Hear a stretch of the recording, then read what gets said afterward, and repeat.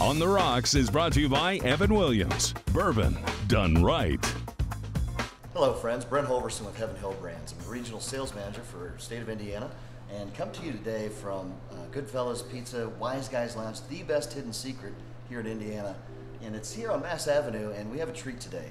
Uh, we've got Brennan up back here who's going to be making a broken hatchet for us. And not only with Brennan, we have our global whiskey ambassador, Mr. Bernie Lubbers. Bernie, welcome to Indiana. Welcome back, my friends. Always good to be back. It's good to be back here at Wise Guys. Good to be back here in Indianapolis. And I tell you, I love this drink because it's made with one of my favorite products at uh, Heaven Hill, and that's because it's bottled in bond. What are you going to do here with this uh, with this broken hatchet?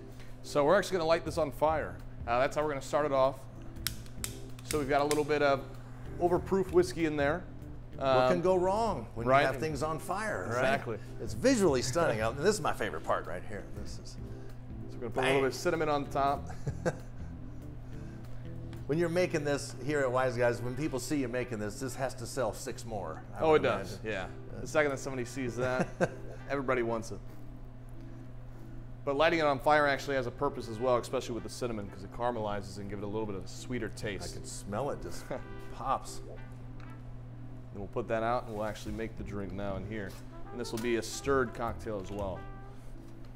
So that's uh, Evan Williams Bottled and Bond. Bottled and Bond, the first consumer protection legislation, uh, legislation in the history of the United States, 1897, March 3rd. You know, back then people were putting some unsafe and just anything. You could put any ingredients, safe or unsafe, into any product. So bottle and bond bourbons or any spirits have to be exactly 100 proof. Stands up in the cocktail for you all when you're making the drinks.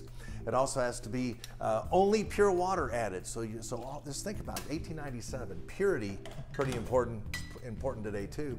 And then you're guaranteed a good strength of the 100 proof. You have to know who made it. You have to put on the package the distillery that made it, the unique DSP or distilled spirits plant number. You hear all these laws and regulations.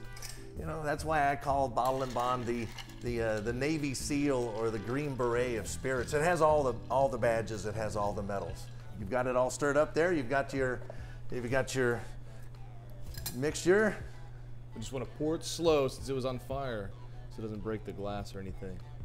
Right. So it's bourbon on bourbon. So it's the cocktail into that into that bourbon too. Oh, it's even better than it looks. Ah.